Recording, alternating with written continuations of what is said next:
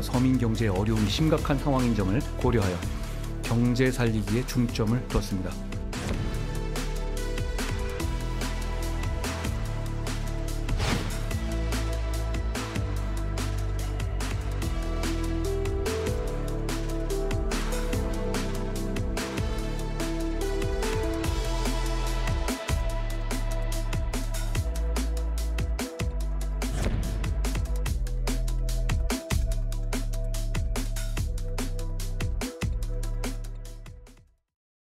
네, 5시 뉴스 후 이번 주 정치권 이야기는 다시 이 초록방 시내 원룸에서 풀어가 보겠습니다.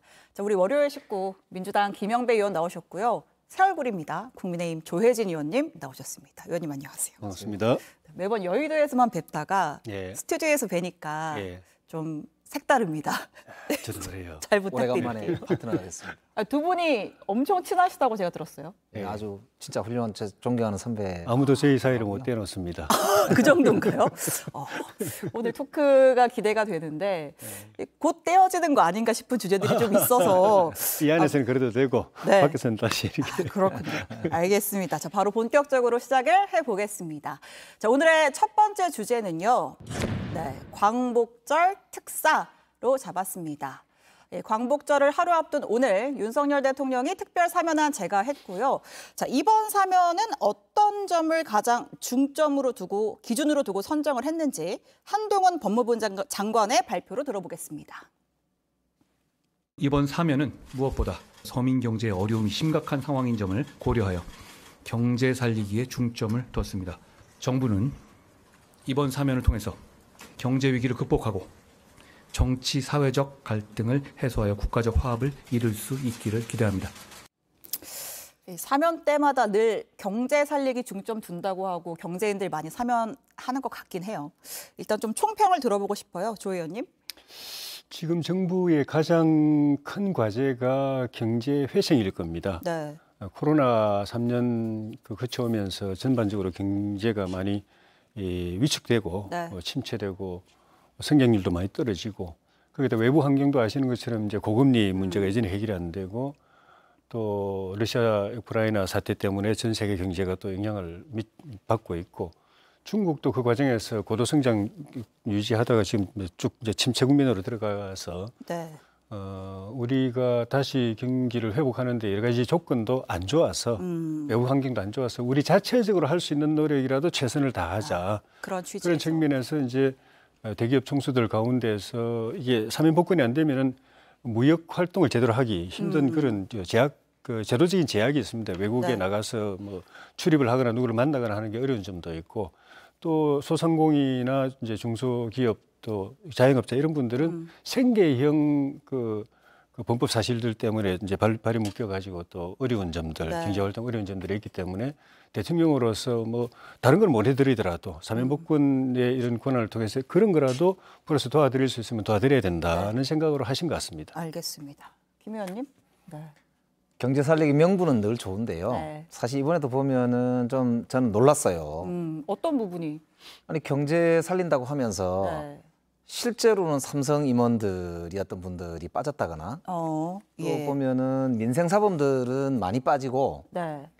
어, 소위 이야기하는 기업들 중에서 아주 사람들의 눈살을 찌푸리게 해- 했던? 했던 갑질 대왕이라고 했던 그러니까 운전사를 막 이렇게 패고 그래가지고 네. 문제가 됐던 회장이라든지 안 그러면은 이 형집행 중에 그러니까 가석방 중에 술집을 막 다녔던 음, 이 갑질 대왕 중에 한 사람이 네. 회장도 보니까 사면이 됐더라고요. 아, 그러니까 명목은 경제 살리기지만 예, 실제로는 실제로는 음, 어, 사실 윤석열 대통령하고 친한 사람들 해준 거 아니냐 이제 그런 생각이 들고 특히 김태우 전 구청장의 경우는 아 이거 사법 시스템을 무너뜨리는 음. 정말 저는 법치주의의 근간을 무너뜨리는 최악의 사면권 남용이 아니냐 그꼭 지적하고 싶습니다. 저희가 김태우 전 구청장 이야기는 잠시 뒤에 해볼 텐데 일단 그 김현 언급하신 내용 중에 그 사면설이 돌던 삼성들 임원 전 임원들은 명단에서 빠졌어요.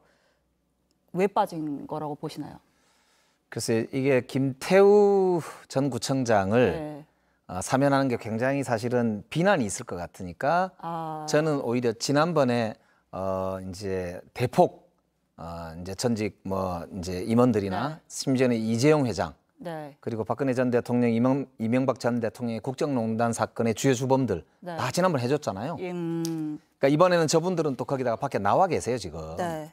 그래서 굳이 이번에 뭐 더 욕 먹을 거 아. 끼울 필요가 있겠냐 이런 판단 아니었을까. 그러니까 이제 김태호 전 구청장이 논란이 될 것 같으니까 약간의 밸런스를 맞추기 위해서 삼성 전 임원들은 뺐다 뭐 이런 그런 생각이 들 어. 정도로 사실은 어, 김태우 구청장의 아, 사면 복권이 충격적이에요. 그런 분석을 내리신 거고요.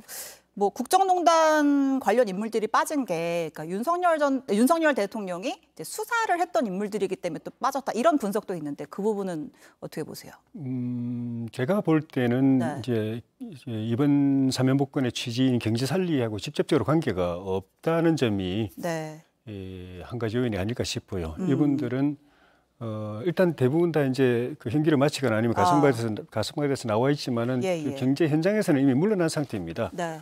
경제 활동을 하고 있지 않은 분들이고 어, 나머지 또 이제 안종범 또 김종 이런 분들은 뭐 정치적으로나 행정적으로 어떤 또 사면복권이 되면은 어떤 활동을 하실 수 있는 그런 계획도 아니고 해서 네. 어떻게 보면 그 경제 살리기 측면에서 굉장히 다급한 음, 그 사면 복권의 필요성이 절실한 분들에 비하면은 좀 시급하지 않은 경제 분들. 살리기라는 큰 취지와는 관련이 없기 때문에 예, 만약 사면 복권 거지. 하더라도 뭐 현재 삼성에 복귀해가지고 네. 다시 또 뭐 경제 활동을 하거나 그런 분들은 또 네. 아닌 점하고 경제를 국정- 살리려면은 네. 이제 잠깐만요. 국정 이제 농단 좀 전에 말씀드린 것처럼 네. 순수하게 경제 활동보다는 이제 국정농단이라는 정치적 사건에 음, 연루되어 있는 그런 측면하고 음, 또 국정농단 사건의 그 맥을 정확하게 읽어보면은 어, 쉽게 또그 아. 사면 복권하기 해주기 어려운 그런 요소도 있어서 아마 네. 복합적으로 예, 그 고려가 되지 않나 아. 싶습니다. 알겠습니다. 그러니까 사실 경제를 살리려면 네. 어 이제 그 경제를 하면서 범죄를 저질렀을 경우에도 어 이제 내가 처벌받을 거다. 네. 그리고 이제 아주 불가피한 경우 빼고는 범죄를 저지르면 안 된다. 네. 이런 인식이 있어야 되는데 지금 음. 아까 말씀드린 대로 사실은 재벌 기업 회장들도 보면은 아주 질이 좋지 않은 분들을 이번에 다 사면을 해준 걸 보면 네. 이게 경제 살리기가 목적이 아니고 사실은 윤석열 대통령이 비- 빚을 졌는지 잘 모르겠지만 굉장히 정치적인 그런 사면권의 행사 아니냐 이런 음. 저는 비판을 면하기 어렵다고 생각하고요. 에이, 특히 전직 저 관료들 중에서 이미 어, 주범들, 그러니까 국정농단의 주범들은 지난번에 다 해줬거든요. 음. 그래서 이번에는 오히려 한꺼번에 세일 하듯이 그냥 싹 해줘도 되는데 저는 오히려 이번에는 왜, 왜 그랬는지 참 이상할 정도였어요. 생각보다 덜했다 이런 평가신가요? 알겠습니다. 자 일단 뭐 앞서도 언급이 됐습니다만, 그러니까 어쨌든 정치인들도 좀 포함이 됐어요. 또 논란이 되는 인물 중에 하나가 김태우 전 강서구청장입니다. 누군지 모르는 시청자도 있을 것 같아서 간단하게 설명을 하면 그러니까 문재인 정부 시절에 청와대 특감반으로 근무를 했었고 이후에 수사관으로 복귀를 해서 어 이제 조국 전 법무부 장관, 이제 김은경 환경부 장관 관련 내용을 이제 폭로를 해서 이제 두 분은 뭐 처벌을 받았고 이제 김태우 전 구청장 같은 경우에는 이제 공무상 비밀을 누설했다라고 해서 이제 재판을 받고 형이 확정이 된 건데 이번에 형 확정 3개월 만에 이제 사면이 된 거죠. 일단 여야의 평가를 좀 듣고 오겠습니다.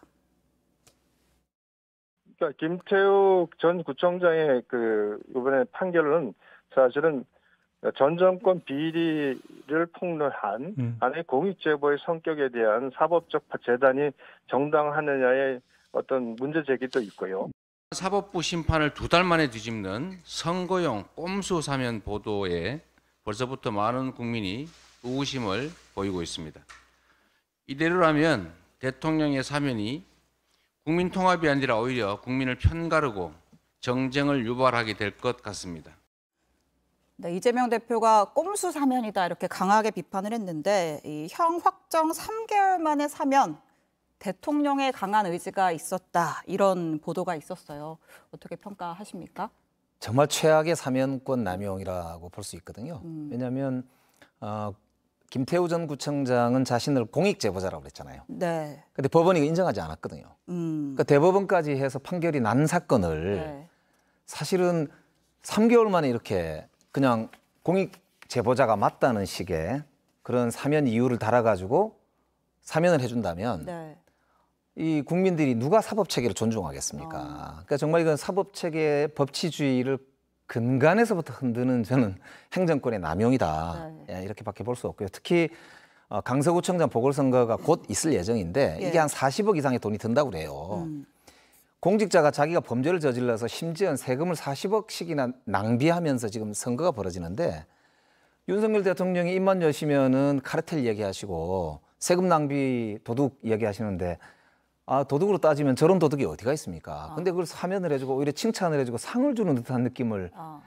받게 되는데 이거는 대한민국의 법치주의를 심각하게 훼손하는 자기 부정이다 이렇게밖에 볼 수 없습니다. 조 의원님은 해석이 좀 다르실 것 같은데. 음, 그이 사면 문제는 이제 사실은 이 시중에서는 대부분 확정 판결이 나기 전부터 이야기가 나왔습니다. 언론에도 네. 보도가 됐었고, 어, 일단은 어, 전형적인 공익 제보자인데도 불구하고, 어, 저기 그 국민권익위원회 위원장이 전현희 위원장이어서 그런지 모르겠지만은 그 인정을 안 해주고 네. 그다음에 법원의 재판 과정에서도 그런 이제 흐름이 이어지는 걸 보고서 네. 이거는 상식이 안 맞다. 만약에 대법원이 그런 식으로 결론 내리면은 이거는 사면이 불가피할 거다라는 이야기가 그때부터 이미 공론화돼서 언론에 이제 음. 보도도 되고 그랬었는데 사면권은 이제 그 대통령이 행정부 수반이 아니라 국가의 원수로서 이제 그 행사, 행사하는 권한인데 예, 크게 보면은 어, 법원 대법원 확정 판결이든 뭐 중간 중그 이심에서 확정되든 네. 간에 법원의 판결에 이 잘못됐다고 생각이 됐을 때 그걸 바로잡는 사후적으로 바로잡는 차원 이제 사후적으로 바로잡는 거는 법원 스스로가 재심하는 것도 있지만은 네. 재심이 안 돼, 안, 하거나 안 될 때는 이제 대통령이 사면권으로 그걸 바로잡는 의미가 하나 있고 그다음에 이제 국민 통합이라든지 그런 여타 3개월 만에 목적이 있는데 너무 심하잖아요. 어, 그런 그 네. 어, 이번 같은 경우는 제가 법원 그 사면 복권의 정확한 취지는 모르겠지만 제가 네. 제가 이해하기는 어, 확 대법원 확정 판결 나기 전에 나왔던 이야기들을 생각해 보면은 음. 이거는 대부분 법원의 판결이 뭔가 문제가 있다라고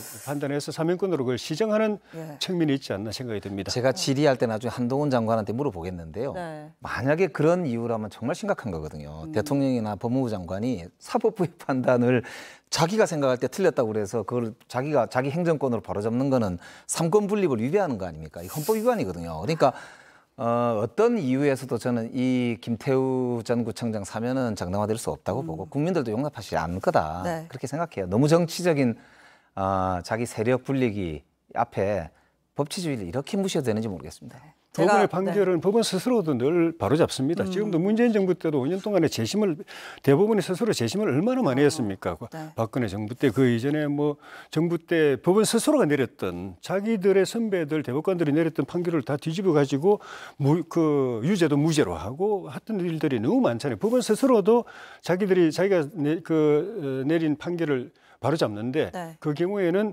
그 명백하게 오심이라고 잘못된 판결이라고 해서 법원 스스로 그걸 재심을 통해서 바로잡는 경우도 있고 오심은 아니지만 그 당시에는 그의 판결이 맞았지만 시대 상황이 바뀌었기 때문에 네. 이걸 바꿔야 된다고 해서 하기도 하고 하는 법원 스스로도 그렇게 하는데 대통령이 대통령이? 국가 원수로서 그걸 하는 거는 헌법에 주어진 권한이기 때문에 그건 탓할 수 없는 거죠. 이게 뭐 사면권이라고 하는 게 대통령의 유일무이한 고유 권한이기도 하, 해- 하고 그렇지만 또 이 사면권을 행사할 때마다 또 논란도 있는데 정치부 출입을 또 오래 한 입장에서는 참 정권 바뀔 때마다 정권에서 누구 사면하면 반대쪽에서는 정치 사면이라 그러고 여기서는 50이었다 그러고 뭐 아무튼 좀 그런 측면도 있는 것 같습니다. 자, 조금 넘어가서요.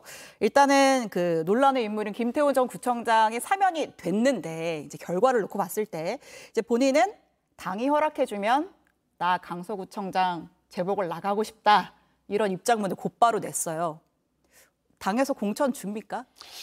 어, 지금 강숙으로 다시 돌아가겠다. 네. 그리고 어떤 방식으로이든 어떤 역할이든 하겠다. 요 정도까지만 돼 있고 네. 그러니까 말하자면 사법적으로는 이 이제 명예 회복이 됐는데 네. 예, 정치적으로도 명예 회복하고 다시 하고 싶다라는 음. 건데 구체적으로 어, 10월 강서구청장 집 보궐선거에 다시 나갈 건지에 대해서는 명확하게 입장 표명이 없는 것 같고 네. 아직도 본인이 그거를 확정하진 않은 것 같아요. 어, 당일에 입장에서는- 대놓고 사면된 당일에 대놓고 나간다고 하면 조금 그렇지만 그러니까 우리 당의- 나가고 싶어 한다고 하던데. 음, 그 어쨌든 우리 당 네. 입장에서는 본인이 출마 의사가 있어야 네. 아, 출마 기회를 줄지 말지를 결정할 수 있는 거기 때문에 네. 있으면 그 이후에 거예요? 판단해야 될 것 같아요. 있으면? 주실 거냐고 물어보는데요. 진짜? 줄까요? 아 근데 주실 수 이- 있나요? 그러니까 이 정부가 참저 희한한데요. 저는 참 후아무치한 이제 저 발언이었다고 생각하는데 최소한 국, 국민 여러분, 국민 여러분 죄송합니다부터 시작해야 되는 거 아닌가 싶고 아 까 말씀드린 대로 피 같은 40억을 네. 자기 때문에 지금 재보궐 선거 때문에 아. 쓰는 거잖아요. 본인은 억울하니까 이 죄송하단 그러니까 본인의 억울한 점은? 억울하게 네. 이야기를 하더라도 네. 세금 40억씩이나 자기 돈으로 쓰든지 그러면은 그러니까 그렇지 않는 상황이니까 이게 제가 보면 대통령도 어떻게 사과 한 번 이때까지 하는 걸 못 봤는데요. 저는 국민들이 다 보고 계셔서 네. 예, 판단하실 거라고 믿습니다. 그 알겠습니다. 전현희 위원장의 그 권익위원회가 상식에 입각해서 음. 공익 제보자로 그걸 받아줬으면은 그 이후에 재판도 그런 방향으로 갔을 거고 아무 문제가 아. 없었을 것이기 때문에 거기서 문제가 시작됐죠. 아, 어디서부터가 시작인지 그 얘기를 또 근데 다 사법부가 전현희. 위원장이 시킨 대로 한 건 아니잖아요. 네, 예. 두 분이 오늘 뭐 끝나고 또 대화 나누실 거잖아요. 이 주제로 또 두 분이 또 이야기 이어가시는 걸로 하고